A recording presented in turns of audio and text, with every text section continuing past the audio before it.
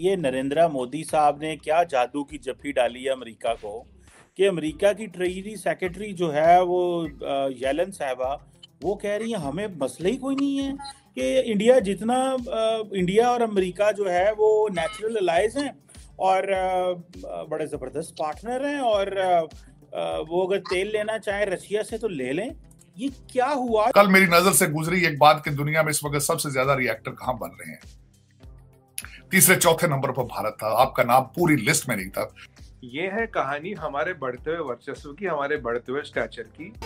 मिफ्ता इस्माइल के बाद इसाक डार भी आईएमएफ के सामने बेबस। आलमी इदारे को राम करने का दावा ठुस हो गया। आईएमएफ का पाकिस्तान से डू मोर का मुतालबा। यूएसए की जानब से इंडिया के लिए एक बहुत बड़ी न्यूज़ सामने आई है और न्यूज़ ये है कि यूएसए ने अनाउंसमेंट की है कि अगर हम विजस की बात करें तो टॉप प्रायोरिटी इंडियंस को दी जाएगी इंडिया को दी जाएगी। पाकिस्तान और आईएमएफ का अगला माती दौर ताखिर का शिकार हो चुका है। सुपर पावर्स तो बहुत दूर की बात है दूसरी कंट्रीज़ में ग्रीन पासपोर्ट की वैल्यू वैल्यू नहीं है। और जो हमने अपनी फॉरेन पॉलिसी ये दिखा दिया चीमा साहब आप बोले ना बोले हाँ वो करेंगे but is our supreme national interest तो उन्होंने कहा हम आके आपसे किस चीज़ पे बात करेंगे जब आप अपने वादा ही पूरा नहीं करते।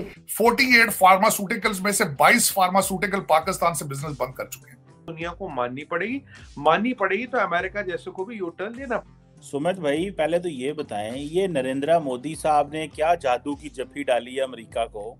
कि अमेरिका की ट्रेजरी सेक्रेटरी जो है वो येलन साहबा, वो कह रही है, हमें मसला ही कोई नहीं है कि इंडिया जितना इंडिया और अमेरिका जो है वो नेचुरल अलाइज हैं और बड़े ज़बरदस्त पार्टनर हैं और वो अगर तेल लेना चाहे रशिया से तो ले लें। ये क्या हुआ? जी ट्वेंटी से पहले कोई मोदी साहब ने ये तो नहीं कहा कि मैंने बाइडन से मिलना नहीं है? ये है कहानी हमारे बढ़ते हुए वर्चस्व की, हमारे बढ़ते हुए स्टैचर की। देखिए जी ट्वेंटी के बाद अगली प्रेसिडेंसी हमको मिलनी है, ठीक है?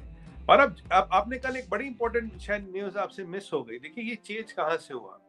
अगर आप देखेंगे ब्रिक्स में कल या परसों रशिया ने अनाउंस किया 16 कंट्रियाँ ज्वाइन कर रही है।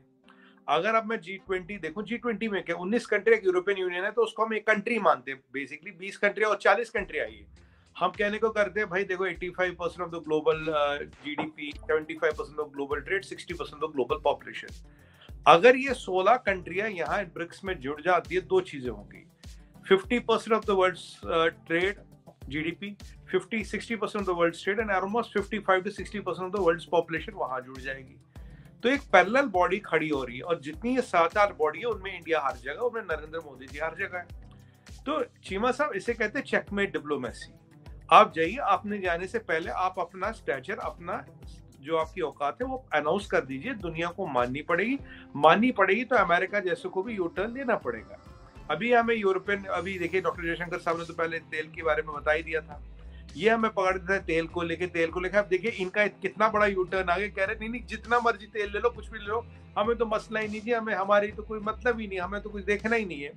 और जो हमने अपनी फॉरेन पॉलिसी ये दिखा दिया चीमा साहब, आप बोले ना बोले हाँ वो करेंगे but is an our supreme national interest. तो हमें अगर रशिया से तेल लेना ले, और मैंने लास्ट टाइम आपके शो में